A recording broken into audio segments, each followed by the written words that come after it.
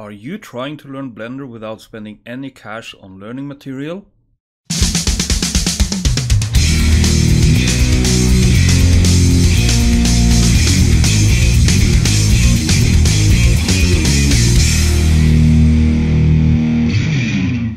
Hi, I am Morten Fjellheim and you are watching another tutorial from Blender Tutorials and Art. Are you thinking that since Blender is free, learning it should be as well? It is possible.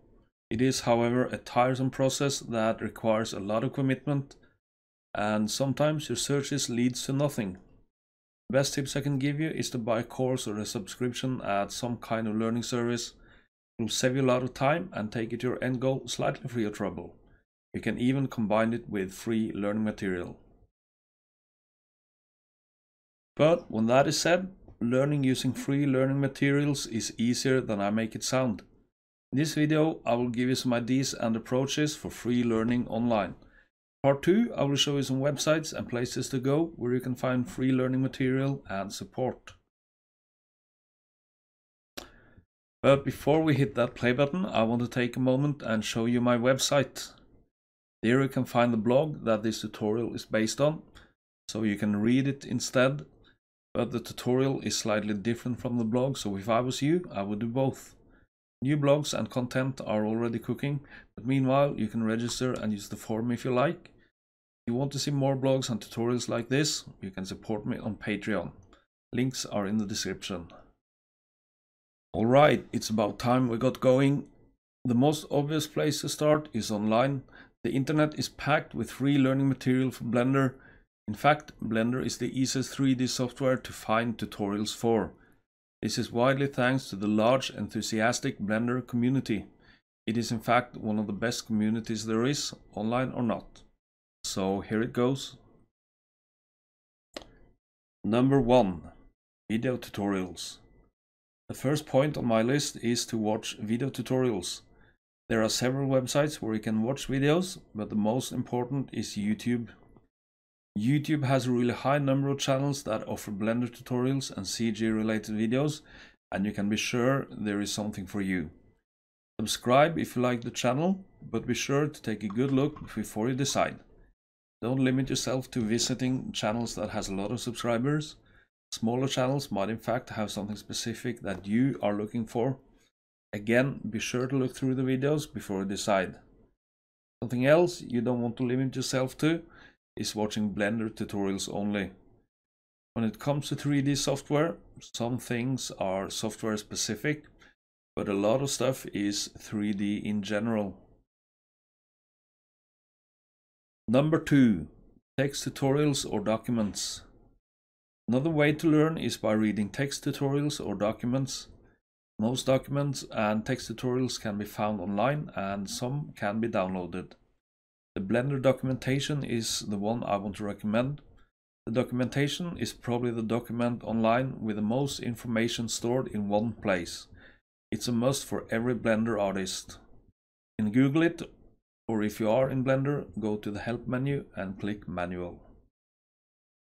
Number 3. Websites and communities offering support. Next on the list is joining websites and communities offering support. You will get in touch with other artists and can ask questions when you are stuck. Some websites have forums or fields for commenting, and very often they will have links to learning material that are there for no other reason than to help the community. The largest one is Blender Artists, which is considered the main hub for Blender users. There is also groups on Facebook as well as Reddit and Stack Exchange. Number 4. Chat servers. Another place to find support is on chat servers. They can mostly be found on Discord, not very different from other communities, except they use a different platform. These are ideas for websites you can look for, but before we end this video, I have a few more approaches to a free learning project. Take notes. A good way to remember everything you learn is to take notes. That way you can go into your text file and read it with your own words instead of watching a tutorial one more time. If you want to be even more creative with the learning process, you can create your own tutorials.